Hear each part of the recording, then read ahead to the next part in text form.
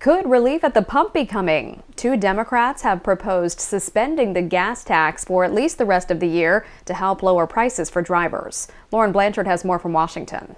Two Democratic senators want to put a few bucks back in your wallet when you fill up. $30 won't give me not even half a tank at this point no more. Cause I get the most expensive one. Senators Maggie Hassan of New Hampshire and Mark Kelly of Arizona are facing tough re-election fights this year. They're proposing the Gas Prices Relief Act. It would suspend the 18.4 cent federal gas tax through the end of the year. Gas companies would be monitored to make sure they're passing savings to consumers, and it would require the Treasury to keep making transfers to the Highway Trust Fund. The gas tax helps fund highway projects and public transit, and while any price reduction would be a relief, according to AAA, on average, gas is up more than a dollar compared to a year ago.